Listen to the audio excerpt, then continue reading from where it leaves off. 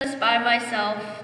My mom really helped me out a lot. She um, she would bring me in a piano piece and I would practice it and she would push me real hard to learn it and I couldn't have done it without my mom.